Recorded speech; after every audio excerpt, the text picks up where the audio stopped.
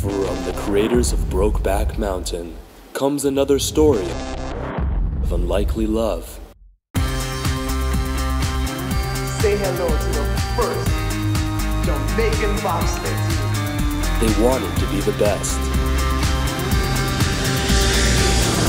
They wanted to win the Olympics. They trained every day.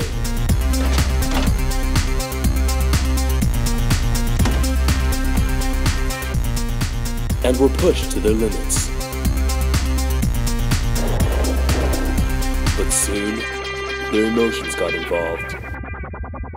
I have been looking at Slater since I was 12 years old. Complications of unrequited feelings. Look at me. Take it. You don't have me. If he wants it bad enough, he'll get it. As true love was realized, things heated up. All right. I'll do it. I want you to, but you can't, I understand. See you at the finish line.